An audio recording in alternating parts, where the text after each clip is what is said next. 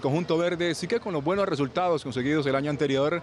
Ya ayer venció en doble confrontación a Río Negro y esta mañana derrotó a Once Caldas también en partido amistoso. Además, los verdes este domingo estarán en el Día del Fútbol Antioqueño.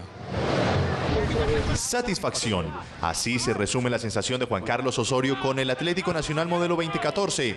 Entre los que llegaron y los que estaban, existe la convicción de que hay suficiente equipo para atender cada reto de la temporada que comienza. El primero, la final de la Superliga ante el Cali.